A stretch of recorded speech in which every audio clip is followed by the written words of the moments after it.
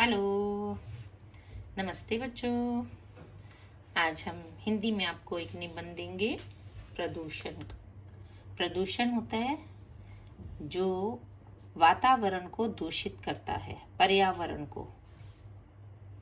तो उसे कहते हैं प्रदूषण। प्रदूषण कई तरह से फैलता है। गाड़ियों के धुएँ से, फैक्ट्रियों के धुएँ से, जो भी हम सांस लेते हैं और फिर छोड़ते हैं, उससे प्रदूषण फैलता है। हम लेते तो ऑक्सीजन है और छोड़ते क्या है? कार्बन डाइऑक्साइड तो हम अपना मल त्याग भी करते हैं, उससे भी प्रदूषण फैलता है। तो प्रदूषण तो कई तरह से होता है तो हमें उसको कैसे करना है? दूर उसका भी उपाय देखना है। तो प्रदूषण के बारे में हम आज इसके प्रस्ताव में पढ़ेंगे। प्रस्तावना, सर्वप्रथम जब मानव का अस्तित्व इस दुनिया में आया, उस समय सारा वातावरण अत्यंत निर्मल और शांत था। यानी कि जब मानव इस दुनिया में आया तो बहुत कम आबादी थी ना, थोड़े से लोग थे। चारों ओर हरियाली थी। हरियाली कोई इंसान नहीं करता, चारों तरफ़ अपने आप ही हरियाली थी। अब खेत, खेतों में तो हम अगर कुछ उगाना चाहते हैं तो उसी तरह के बीज डालेंगे। हमें सब्ज़ियाँ उगानी है, फल उगाने हैं अलग अलग तरह के पौधे उगाने हैं तो हम उसमें बोते हैं। आप पहाड़ों पर देखिए, कोई भी नहीं बोता उस पर अपने आप पेड़ उग जाते हैं तो हरियाली ही हरियाली नज़र आती है। चारों ओर हरियाली थी, और जीव जंतु भी अपने आवासों में सुरक्षित रहते थे। आवास में जो उनके रहने के स्थान होते हैं। शेर जैसे गुफा में रहता है, बाकी जंगल तो जंगल में रहते हैं तो भी सुरक्षित थे। धीरे धीरे मानव शिक्षित होता गया। शिक्षित मीन्स शिक्षा प्राप्त करता गया और उसकी लालसा बढ़ती गई, यानी कि लालच बढ़ता गया कि क्योंकि शिक्षा से वो बहुत तरह के उपाय सोचने लगा। आज भी इसका अंत नहीं हुआ है, जिसका दुष्परिणाम है प्रदूषण की समस्या जो दिन रात दिन पर दिन भयंकर होती जा रही है। क्योंकि जब हम शिक्षित हो जाते हैं तो नए नए कार्य करते हैं अलग अलग तरह के कारखाने, फैक्ट्रियाँ लगाते हैं, जिससे व्यक्ति को अच्छे परिणाम मिलते हैं। लेकिन उससे प्रदूषण की समस्या बढ़ जाती है। प्रदूषण का अर्थ और कारण। प्रदूषण का अर्थ है पर्यावरण को प्रदूषित, पर्यावरण का प्रदूषित हो जाना। हमारे जीवन में पेड़, पौधे, हवा, पानी, जीव, जंतु आदि बहुत बड़ी भूमिका निभाते हैं। अब पेड़, पौधे लगे तो हमें पता ही नहीं चलता। हवा हवा बहती है, हमें पता ही नहीं चलता, क्योंकि दिखाई नहीं देती ना। अब हवा कैसी चाहिए हमें? शुद्ध, अशुद्ध हवा नहीं चाहिए, वायु जो शुद्ध होनी चाहिए। वो किससे शुद्ध होती है? पेड़, पौधों से। तो जीव, जंतु भी हमारे जीवन में बहुत बड़ी भूमिका निभाते हैं। हम अपना भोजन, जल और सांस लेने के लिए इन पर निर्भर हैं। इन सब के मेल से पर्यावरण बनता है। प्रकृति ने इनमें उचित संतुलन रखा है, किंतु मनुष्य ने अपने स्वार्थों के लिए इस संतुलन को बिगाड़ दिया है, जिस कारण प्रदूषण की समस्या ने जन्म लिया है। अब प्रकृति क्या है? जो भी नेचर है, वो हमें क्या देती है? वायु। अब सूर्य हमें क्या देता है? प्रकाश देता है, गर्मी देता है। हवा, ये हमें सांस लेने में, क्योंकि हवा के बिना तो हम जीवित नहीं रह सकते ना। वायु ना हो तो जीवित नहीं रहेंगे। तो प्रकृति ने संतुलन बना रखा है। इतने सारे जंगल हैं, जंगलों में इतने पेड़ हैं, लेकिन मनुष्य क्या करता जा रहा है? इन जंगलों को समाप्त करता जा रहा है, काटता जा रहा है। जिससे क्या है? पेड़ पौधे कम होते जा रहे हैं। इसलिए तो कहते हैं पेड़ पौधे लगाने चाहिए।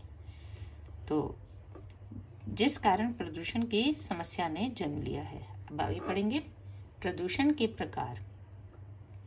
पेड़ पौधे हमारे जीवन का आधार हैं। ये पर्यावरण संतुलन को बनाए रखते हैं। हम सांस लेते हैं, कार्बन डाइऑक्साइड छोड़ते हैं तो और पेड़ क्या करते हैं? हमें ऑक्सीजन देते हैं और कार्बन डाइऑक्साइड लेते हैं। और हम ऑक्सीजन ग्रहण करते हैं और कार्बन डाइऑक्साइड छोड़ते हैं।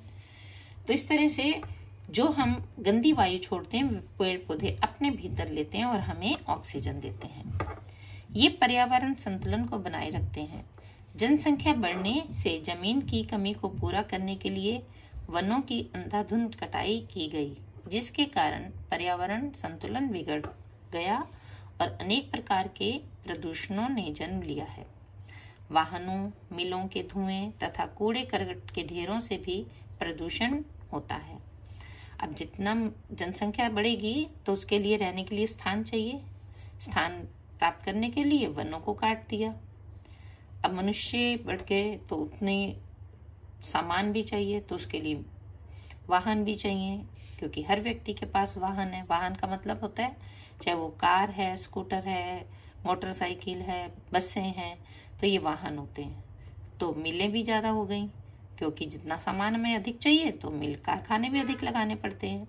तो जितना मनुष्य सामान प्रयोग करेगा तो उसका कूड़ा भी उतना अधिक होगा। यानी कि हर तरह से वाहन, मिलों के धुएँ, कूड़े, करकट के ढेरों से भी प्रदूषण होता है। जब मनुष्य दूषित हवा में सांस लेता है तो शरीर के कोमल अंग क्षतिग्रस्त हो जाते हैं। अब हमें बाहर के तो सारे अंग दिखाई देते हैं, हाथ, पैर, आँख, नाक। और जब हम सांस लेते हैं तो अंदर क्या है? हमारे फेफड़े हैं। तो उन फेफड़ों में क्या होता है? गंदगी जमा हो जाती है, जिससे हमें सांस की प्रॉब्लम हो जाती है। कहते हैं ना, हमें सांस नहीं आता। तो इस तरह से कई बीमारियाँ हो जाती हैं। शरीर के अंदर जो होते हैं अंग, वो बहुत कोमल होते हैं। तो वो क्षतिग्रस्त हो जाते हैं, यानी कि बीमार हो जाते हैं, जिससे कैंसर, क्षय आदि असाध्य रोग होने का खतरा बना रहता है।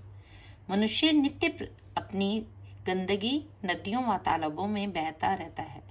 जो हम अपने शरीर का मल त्याग करते हैं तो वो भी तो नालियों में जाता है ना? नालियों से बड़े नालों में जाता है, नालों से फिर आगे और बढ़ता है। इस तरह से मिलों, कारखानों से निकलने वाले गंदे रसायनों को नदियों में छोड़ने के कारण वे प्रदूषित हो रही हैं। अब मिलों, कारखानों में जितना भी सामान बनता है तो उसमें भी बहुत गंदा पानी निकलता है, उसमें रसायन मिले होते हैं केमिकल्स होते हैं तो वो पानी नालों के द्वारा नदियों तक पहुँच जाता है, जिसके कारण नदियाँ भी प्रदूषित होती जा रही हैं। निरंतर बढ़ती जनसंख्या सभी प्रकार के प्रदूषणों को और अधिक बढ़ा रही है। यानी कि हमारी जनसंख्या बढ़ रही है, इसलिए चारों तरफ़ प्रदूषण भी बढ़ रहा है। अब इसका समाधान क्या है? तो हम पढ़ेंगे इसे। प्रदूषण की भीषण समस्या के समाधान के लिए सरकार को कठोर कानून बनाकर उनको सख्ती से लागू करवाना चाहिए। वनों की कटाई बंद की जानी चाहिए। लोगों को अधिक से अधिक पेड़ लगाने और उनकी देखभाल करने के लिए जागरूक करना चाहिए। इसलिए तो आप सब बच्चों को हम बार बार कई बार कहते हैं ना एक पेड़ लगाओ अपने जन्मदिन पर। तो हमें पेड़ लगाने चाहिए और उसकी देखभाल भी करनी चाहिए। घर में छोटे छोटे पौधे गमले में लगा सकते हैं जिससे हमारे घर का भी वातावरण जो है शुद्ध रहे। सबसे ज़रूरी है कि प्रदूषण के खतरों से जन जन को परिचित कराया जाए। अब दिखाई नहीं देती ना वायु। जब हम सांस लेते हैं तो गंदी वायु हमारे अंदर जाती है। तो इसलिए कई बार बदबू वाली होती है तो पता चल जाता है। फिर हम नाक को बंद करते हैं, अरे कितनी गंदी बदबू आ रही है। और जब बदबू नहीं भी आ रही होती, अगर उसमें दूषित कण होते हैं तो वह हमारे शरीर के अंदर प्रवेश करते हैं, जिससे हम बीमार होते हैं। तो हम इसका समस्या क्या है कि हमें पता होना चाहिए कि प्रदूषण को कैसे साफ़ रखना है। तो एक ही साधन है, पेड़ अधिक लगाने हैं, ठीक है? उपसंहार।